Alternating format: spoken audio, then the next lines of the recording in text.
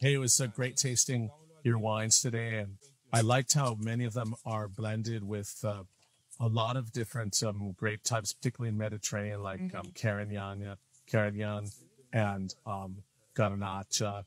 Uh, what do you think about it? You were saying that you know global warming is more difficult now, so you've you've been moving towards other uh, grape varieties other than Cabernet Sauvignon.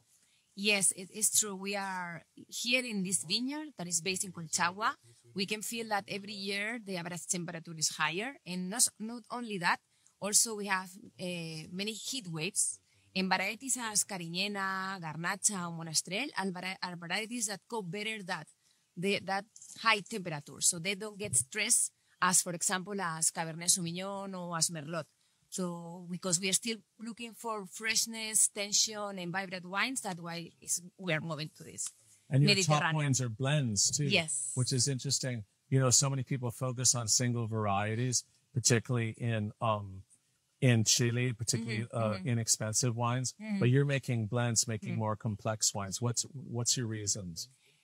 Because I think with a blend, I can read better the place and, and, and it's like cooking. I'm going to have uh, more ingredients to make a, or to search the balance or the style that we are looking for. But what I realize is when you work organic and biodynamic as we do, it doesn't matter the blend change a little bit every year. The style, the soil, the, the fingerprint is, is a vineyard because we have soils that are completely alive in a vine that is expressing the terroir.